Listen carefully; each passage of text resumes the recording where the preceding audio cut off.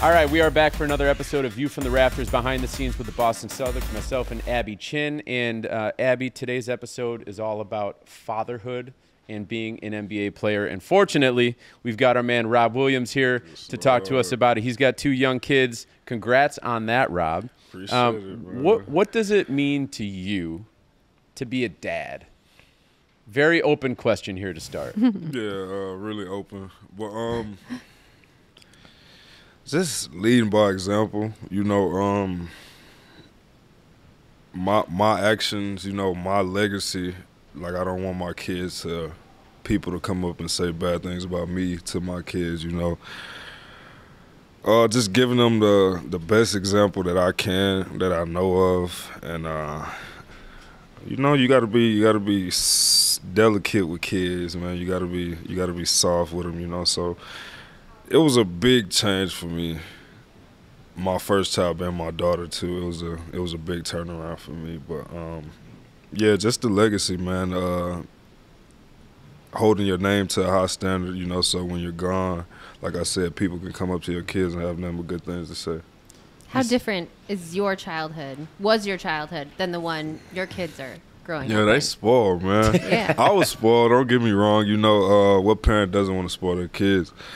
You know, but um, you know, I did go through a part where part of the time we had it hard for a little bit, and um, thankfully I'm in a position my kids don't get to see that. Thankfully, but like I said, man, it's different. You know, it's a different day and age, and I was telling my uh, my girlfriend the other day.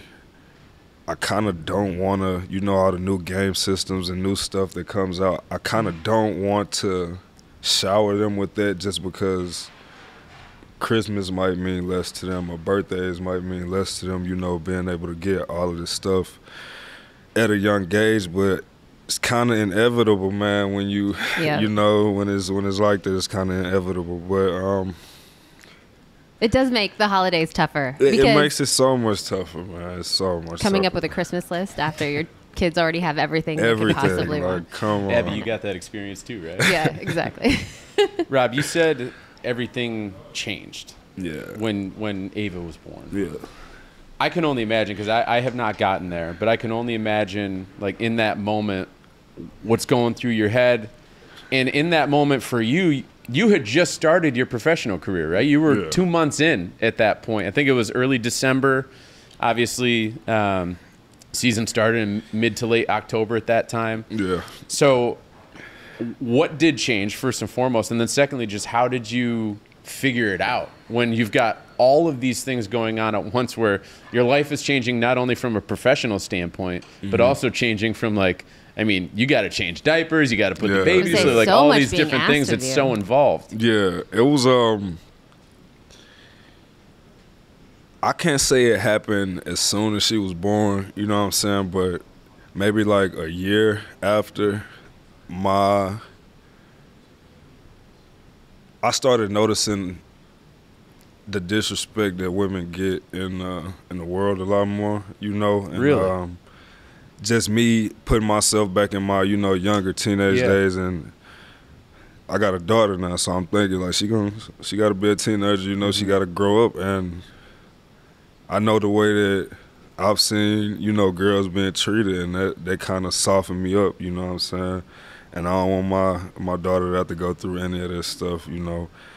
Like I said, it didn't happen right away. It was like you know, like gradually as I learned, like, all right, I do have a baby girl. She's not gonna be, she's four already. You know, time flies. So it just kind of made me put an emphasis on, you know, um, there's a lot of, a lot of women getting mistreated terribly in this world. So, It's so true, and it's really Yeah. cool to hear you mention that.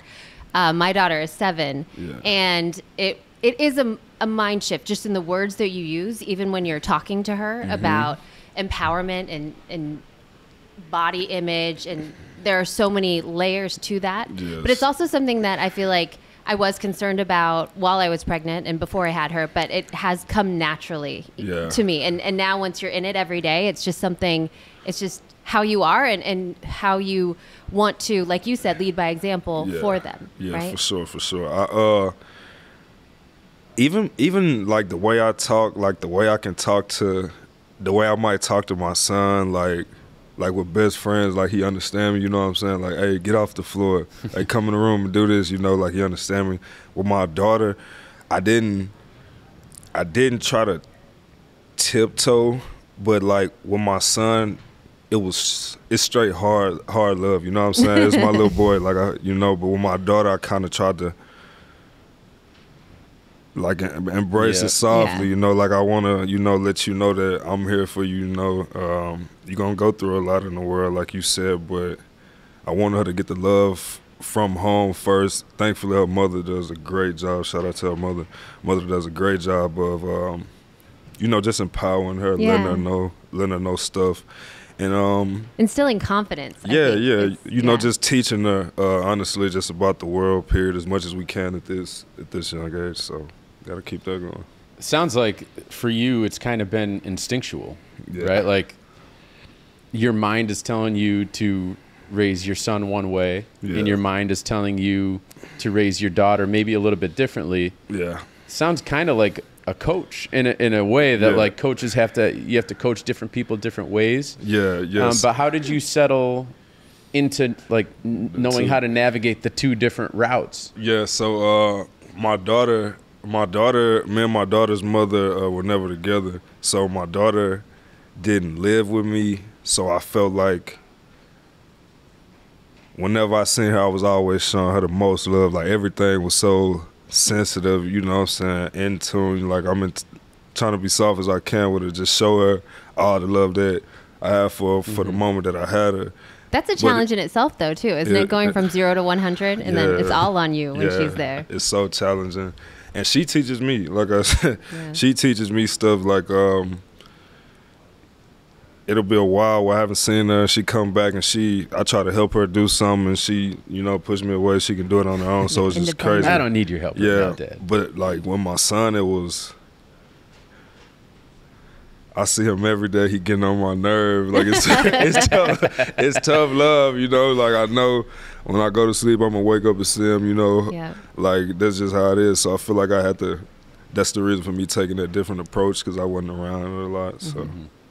How nice is it having, and what has it been like to have some role models within the locker room? When you got here, Al, I think maybe Yeah. had three kids at that point. He's got five now. Yeah. but that kind of example. Jayson as well. yeah, it um, it showed you how to um, juggle the league life and uh, your family. You know, so um, I watch Al like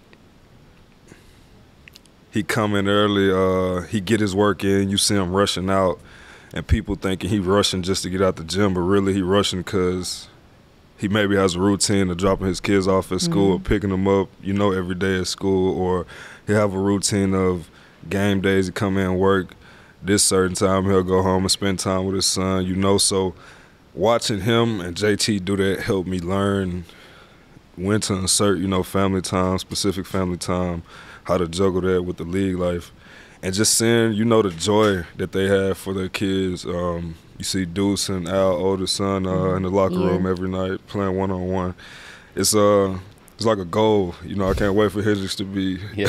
running through there doing that. But learned a lot from them guys. What is it like having Hendrix be around in the family room and, and there for you, It's um. win or lose? It's uh it's it's a thing that honestly I'm ready for him to get older and like be able to look back and realize like I, I actually was in here with these guys To, like, at a young age. Yeah, all, you know, like he he don't understand right now. Even like to be honest, even Deuce and Al son, like I know they understand, you know what I'm saying, but you reach the age of like 14, 15, you looking at pictures of you, you Yeah. know, JT, JB, you like, Yeah. oh, my dad actually had me in there, you know, so really ready for him to just hit that stage. Now it's just all running around, eating everything. snacks. So many snacks. You, you talked about learning how to juggle the league life and parenthood. Mm-hmm. That that's something that I want to concentrate on here because I don't think everyone out there really can understand until you're on that plane It's a and lifestyle. flying It- in and out and getting different. home at midnight after a home game. Like there there's only so many hours in a day. facts, facts. So I mean, I, I have a dog and I feel like I have barely time to take the dog outside. So I can only imagine an actual human being that's depending on me. Facts, facts. How, how have you tried to carve the right amount of time out? And what is the right amount of time um, Um, that you have found in your personal life? So um obviously any off day or any day, you know, just a practice day. But um I try to so Which there aren't many. There aren't just to be at all, clear, I just want to throw that out there. all. True. Games and travel. um, on a game like regular day we hear, you know, shoot around. We all shoot around, say ten in the morning. Um my son will get up around seven. I'll I'll sit with him uh, when he gets up just because I know I'll have to leave in like an hour for shoot around. Uh spend that time with him. When I get back, maybe spend like two, three hours with him, take a uh, pregame nap most of the times if he doesn't go to the game he's down by the time i get it Yeah. out or get home. Or even when he does go to the game when we pull up in the house and i'm like hey hendrix you ready to get out the car? Turn around he you know, he, he knocked out. So any like you said any rare off day or any time that we have you know i try to just take him to do something the aquarium you know um, little jungle gym take our dog to the park anything. You just gotta it's so hard to plan. It's like you don't know until the day before. Like Yeah. we don't know our schedules That's until true. like Yep. you know the day before.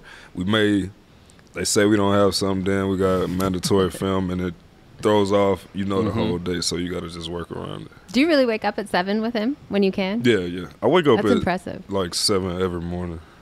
Hmm. Even when we get back from a road trip Yeah. at three o'clock in the morning. Yeah. I Wow. Wake oh I Gosh. wake up pretty early. No, You're I'm a laying. wild I'm. I'm laying in bed with the kids yelling at me like five more minutes. Yeah, well, I, I kind of Five more hate minutes. I hate the fact that I'm a light sleeper because I'm always the first to hear him cry in the morning, and I try to like I Block try- it out. Yeah, I try to just close my eyes a little harder. I'm like maybe Asia here, but nah. I I'm put a pillow the over my first. Try to hide.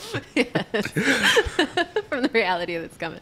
Um, I I spoke to Al about the same topic, and Yeah. we're going to hear from him later in the episode. But he talked about you and Jayson, and first and foremost that he he didn't have his first child until he was seven years in the league. So very different scenario from you guys, and he just couldn't conceptualize how you guys were able to juggle the two things. That's one thing he said. But the other thing that really stood out to me is that he can just when you guys are, are around your kids, he can see like the pure joy in your eyes. Yeah. How would you describe You can How see it- it now. yeah, how, it, Yeah, how yeah, it makes you uh, feel to to be around your kids and, and to be a proud parent. Hmm. what is what is that emotion? It's actually funny because when he goes to sleep at nighttime, like I'll be on my phone and I'll see. A, I was just with him three hours ago before he went to sleep, and I'll see a picture of something. I'm like, man, I can't wait till he wakes up so I can hug him. But um, that joy, man, is just seeing. I think it's two things for me: it's seeing myself in him, and it's seeing him learn to do things on his own. I think that's the most proud he makes me as his dad. It's funny, I'm actually smiling about it hard. But You're proud, man. You can Like- tell. even when he learned how to walk, you know, um, we first tried to get him to walk, he'd take a couple steps and he would fall and he would just crawl, you know, the rest of the way. Yeah. But now like if he falls, he he'd get back up, you know, and he doesn't know little things like Yeah. that. You know, they I'm smiling big as you know, big as day behind him, but it's it's little stuff like that, man. And I think I think he might be saying dada, but I don't want to be the person to toot their own horn, so I'm gonna just I'm gonna wait till it's clear. Dada is easier to say than mama Facts, facts, uh, for facts. those first words. But the part that I love too, and um, I don't know if anybody reads the Us magazine or something, but the stars, they're just like us. You posted a video of yourself at a swim class with Hendrix Mm-hmm. Yeah. and getting in the pool, but Yeah. then uh, you were kind of down, but you stood up and the pool is like Yeah, comes yeah, to your knees yeah, whereas all so- the other parents are. Yeah, it, um, the water was like four feet, Yes. and my back was hurting. Like I had to hold him low to the water. Yeah. So I was like, I'm just you kneel bending down. Yeah, yeah, yeah, it was fun. But nice to be there for those moments. And Yeah, yeah. It was uh it was his second class. Obviously those moments uh are priceless. It's actually something that like you look at as a hassle. Like I've been working out all day. I don't wanna go Yeah. to a swimming class, but once you like there you never want it to end. And you see the smiles on their face, and like kids Yeah. love water. And Yeah, he actually they don't they love it when they don't realize how dangerous it is. That's- Right. Oh, yeah. That's the thing. So he's just jumping in all day. He don't realize if I'm not right here, like you gone, buddy. but it, it's worth it though. Do you ever bring him on road trips? Um, Has he been? he he came to the finals last year. He was really young. He came to the finals. It was a long flight, and he's coming to Houston. He's coming to Houston. Nice. It's- This kind of relates. The last thing that I want to talk to you about is like the culture here with the Celtics is Yeah. it's really family first. Like they, they want you to be there for those key moments. They, th- you know, work comes second. Yeah. For you in particular, you missed games for your first child being born And, and for your second child being born. What what does it mean to you to be working at a place and playing for an organization that prioritizes that stuff for you guys? That you are able to be there for those moments and you don't have to worry about how that's going to you know reflect on your work ethic or anything like that. Yeah, even when uh even when Brad was coaching, we we all knew he was real big on on stuff like that. Like it it wasn't even a question with him, you know, if it was a serious family matter, you know, uh he would make you be there. You you know you didn't have a choice. He even missed a game at one point Yeah. for a personal matter. Yeah. So it's like um we always respected that about the the whole organization and um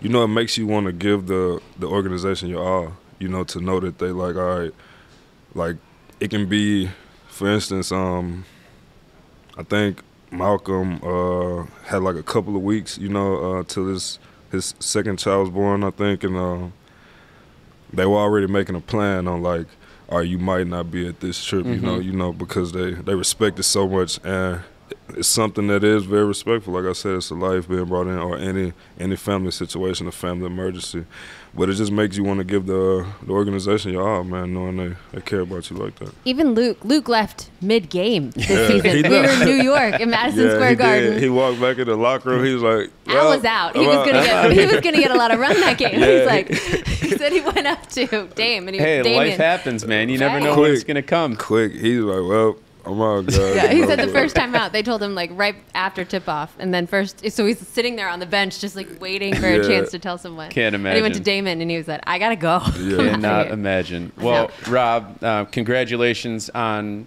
two beautiful kids and Ava and Hendrix. And Appreciate it. you've been an unbelievable dad so far. I know I haven't been there to directly watch it, but I've heard a lot of people talk about it. Uh, so Appreciate it. congratulations. We appreciate you coming on to talk with us about it. We're going to hear from Al Horford talking about the same thing here in a minute. Okay, Rob, thank it. you. Thanks, Rob. Thank you. Abby, that was an awesome conversation with Rob. amazing. I'm so happy that we got 15 ish minutes with him. And last night we were talking at the game. We didn't even know if we were going to be able to fill that amount of time with him because he's usually so short winded.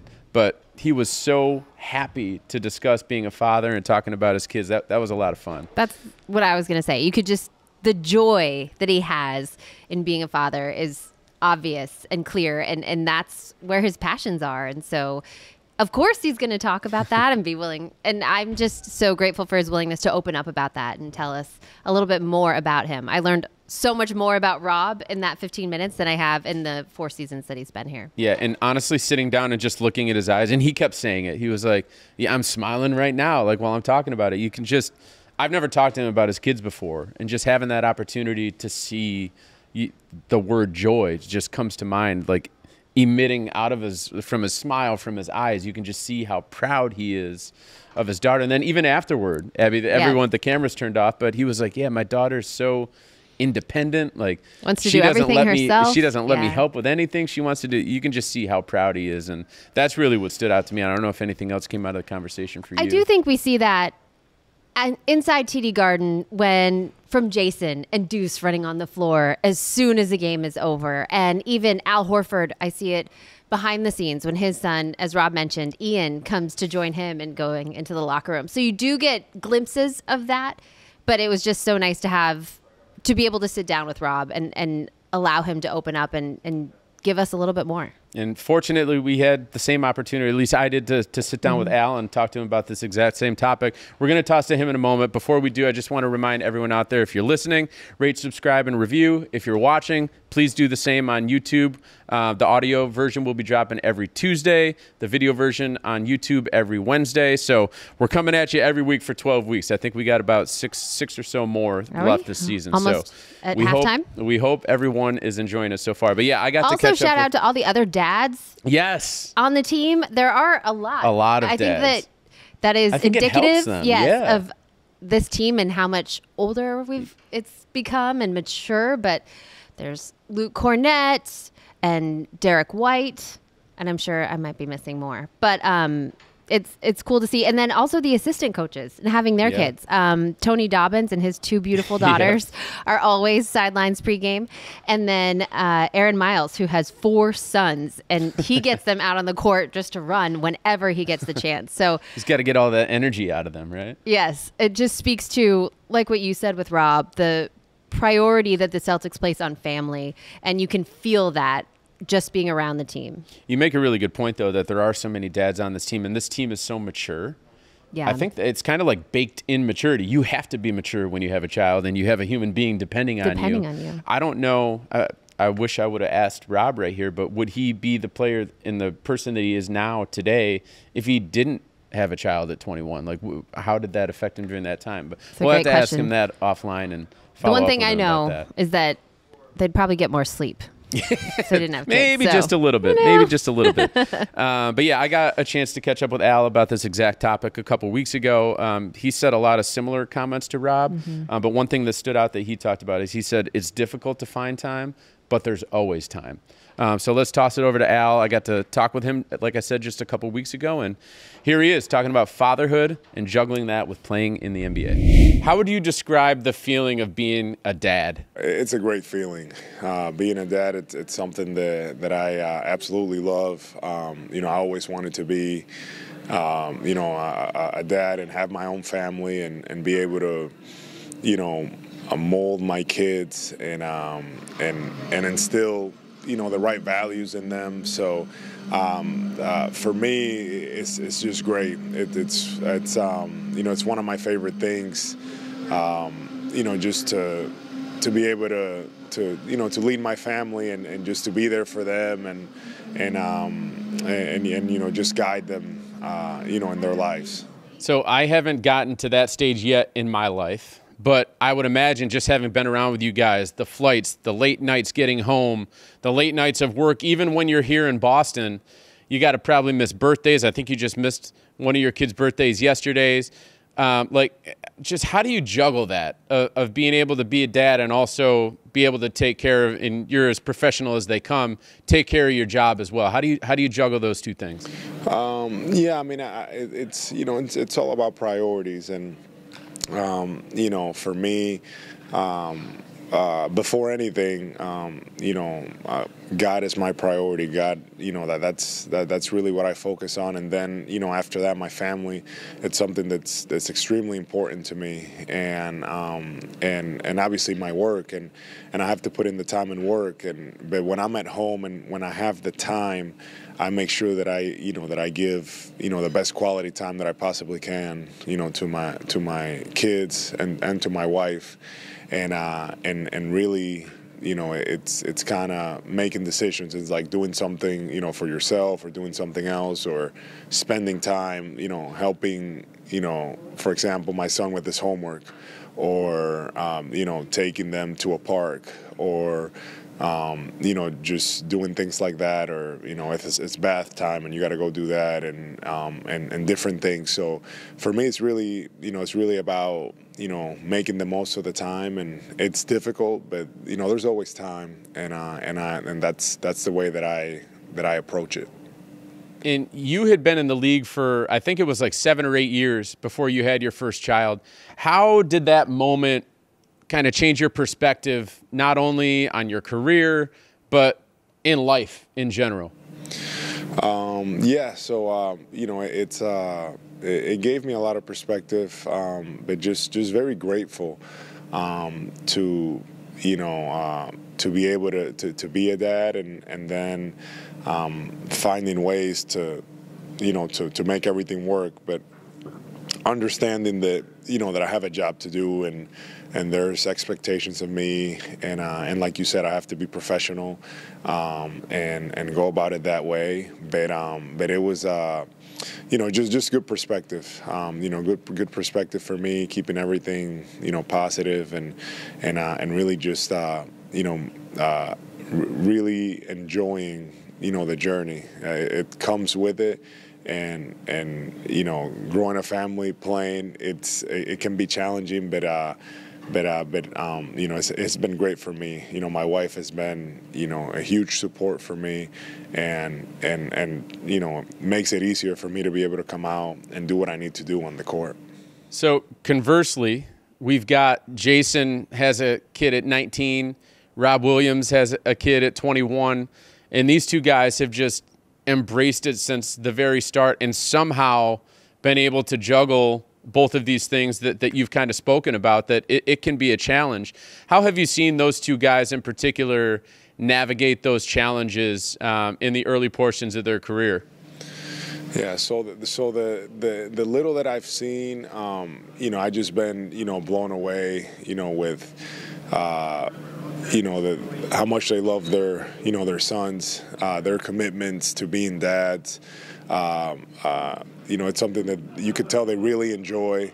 Uh, they really embrace, um, and and um, and and they're uh, and, and that's like the biggest thing. You know, they're really caring. They're really taking the time, and uh, and just from the interactions that I've had or when I talk to them and things like that, you know, their their faces just light up when they talk about you know about their kids, and um, and that's uh, that's pretty special. I think that's the biggest thing right there. Um, you know, they they're they're dads that want to be involved that, that want to be part of their kids' life, and uh, and and I think that's the biggest thing: You're giving your kids as much love as you can. Awesome. All right, Al, I appreciate it, man. Thank you for doing this on an off day, and uh, hopefully we see you guys back out there for another win tomorrow. All right, man. Thank you. All right, man. Thank you very much.